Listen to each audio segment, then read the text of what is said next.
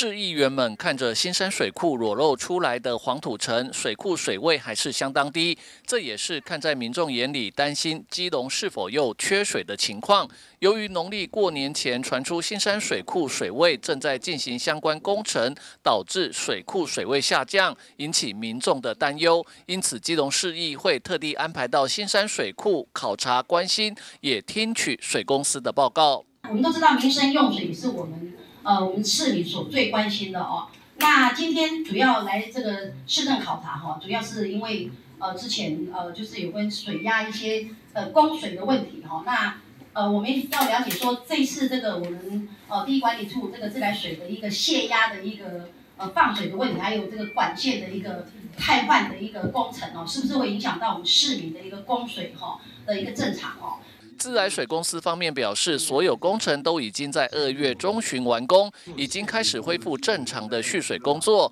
每天从基隆河抽水二十吨左右，其中十吨储存到水库里面。如果天气没有非常非常大的变化，预估五月就可以接近蓄满满水位。今年度基隆就不会再缺水。那我们现在大概抽二十一万，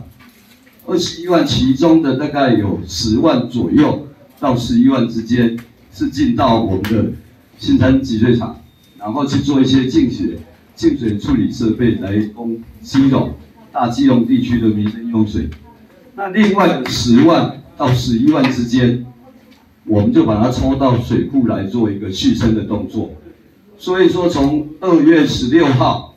到今天，我们大概已经抽了大概一百水库的水位，现在。库存量大概是一百六十五万吨左右，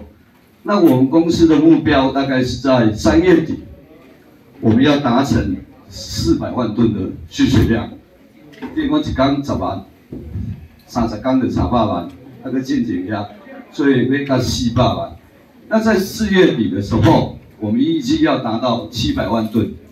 七百万吨的话，大概是水库的运转规线左右。等于是它表示它安全，将来七八九这个枯水期的时候，它是没有问题的。